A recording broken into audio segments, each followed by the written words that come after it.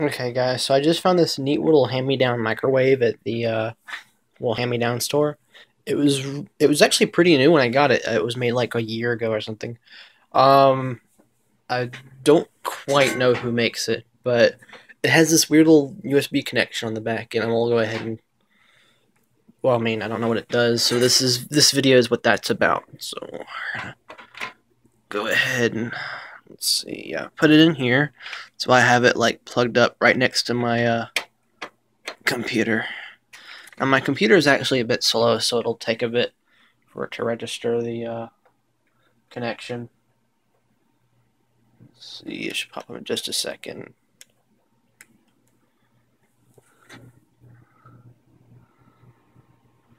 There we go. Yeah. Oh, GE must make it. Okay, gotcha. GE microwave. Go ahead and let's see. Where's my mouse? Oh, my mouse isn't plugged in. Let me go ahead and plug it in real quick. Oh no, I have a keyboard. I'll just use that. Okay. Cook log. Oh, that's weird. It's like a little log on here. Let's see. There's a bunch of little um, timestamps with food on them. And I literally just made popcorn like a few minutes ago, so that's weird. It's kind of neat. Let's see. I guess it was pre-owned.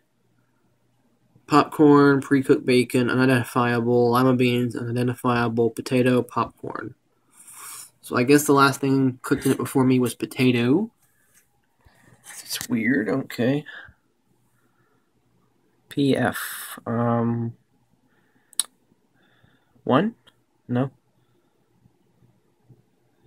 Uh.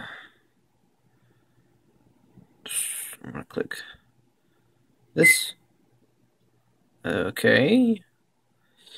Uh. Nope.